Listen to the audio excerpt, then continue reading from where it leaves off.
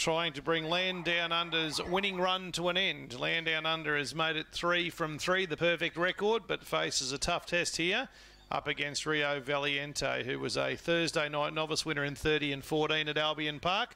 This is the Kibo at stud race 7. The bookends have it 160 Rio Valiente, land down under 230. Good battle. Chances given to the 4 and the 6 outside of that. Ready now? Starters ready for them. Looks like Fab Flyer's the last one in. Green light.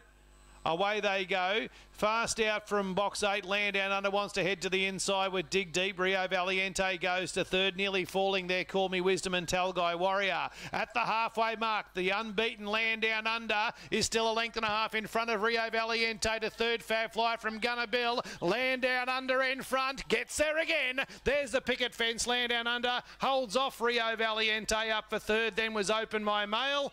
Fab Flyer in fourth from Dig Deep. Talguy Warrior Gunner Bill, call me wisdom. Eight, one, and two.